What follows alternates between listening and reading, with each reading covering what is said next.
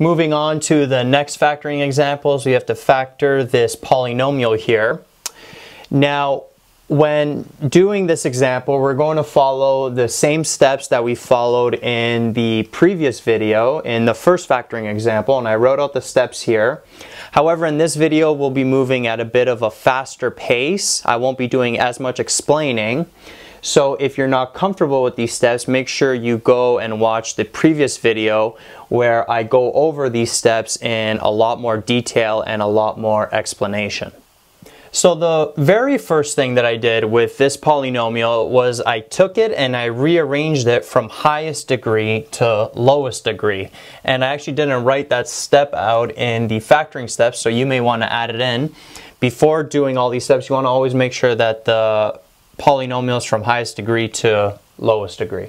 So the first step that we take is that we have to factor out any common factors. And a common factor in this polynomial that we could take out initially is this negative 2x. You always want to take out a negative if the leading coefficient is negative, just because working with a positive leading coefficient when factoring is a lot more easier.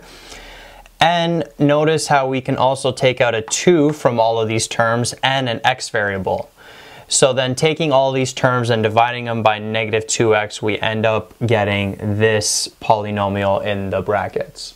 So now we can move on to step two, and I labeled this polynomial here as f of x just so we can refer to it easier.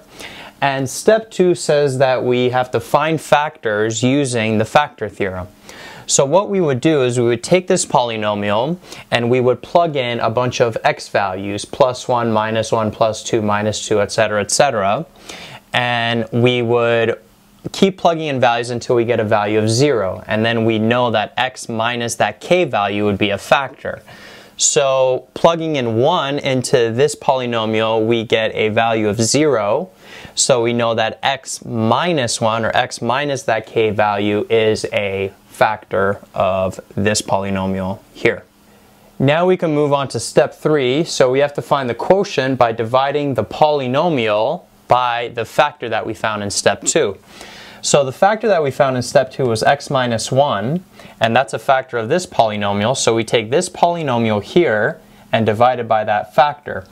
Now I didn't write out the details of the division. However, as usual with step 3, as we mentioned in the previous video, you should always get a remainder of 0. And the quotient that we end up getting is x cubed minus 4x squared minus 1x plus 4. Now, I would highly suggest that you pause the video right now and try to do this long division yourself. Actually, you should try long division and synthetic division to make sure that you're getting this result, just so you can get some extra practice with dividing polynomials. So moving on with the factoring process, so far what we got is the negative 2x that we factored out in step 1. Actually, I'll write step 1 here. Then we had this polynomial to work with and we found out that x minus 1 was a factor of it. And then we divided that polynomial by x minus 1 and end up, ended up getting this quotient in step 3. So now we can move on to step 4. Now step 4 says if the quotient that we got in step 3 is a quadratic, then we can just factor it using techniques that we already know of, so quadratic formula, or we can use decomposition. However, if the quotient has a degree that's greater than 2, then we have to go back and repeat step 2. And notice how the quotient that we have remaining has a degree of 3. So we're not just going to be able to factor it smoothly because it's not a quadratic. So we're going to have to go back to step 2 and now factor this polynomial using the factor theorem. So going back to step two, for this polynomial, I labeled it as g of x, so we just avoid confusion with this polynomial here that I labeled as f of x. And we have to use the factor theorem to find factors for it. So again, we would just plug in a bunch of values for x until we get a value of 0. So trying plus 1, minus 1, plus 2, minus 2, etc., etc. And then if we plug in 1 for the x values of g of x, we get a value of 0. So we know that x minus that k value of 1, or x minus 1, is a factor of g of x, and we can move on to step 3. So after finding the factor of x minus 1 in step 2, in step 3 we take this polynomial and divide it by that factor x minus 1 and we end up getting a result of x squared minus 3x minus 4. And as usual, you should get a remainder of 0 at step 3. You should pause the video and try to do this yourself and make sure that you are getting the same result.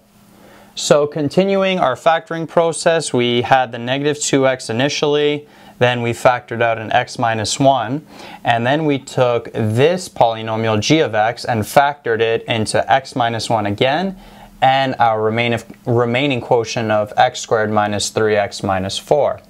So now we move on to step 4 with this remaining quotient here.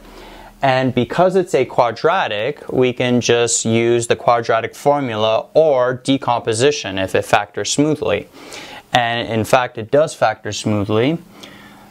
So we would write out all of these factors again.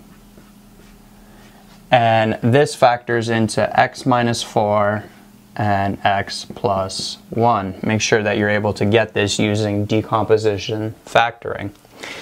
Now, one thing I want you to notice about this question that's unique is that this x minus 1 is a factor that appears multiple times. It appears twice.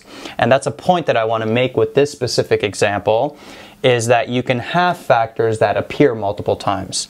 And if they appear multiple times, you can rewrite them in a much nicer way. So since this x minus 1 appeared twice, we would put a squared here and then we'd have x minus 4 and x plus 1. And this ends up being our final answer. That's, uh, that's the factor form of this polynomial.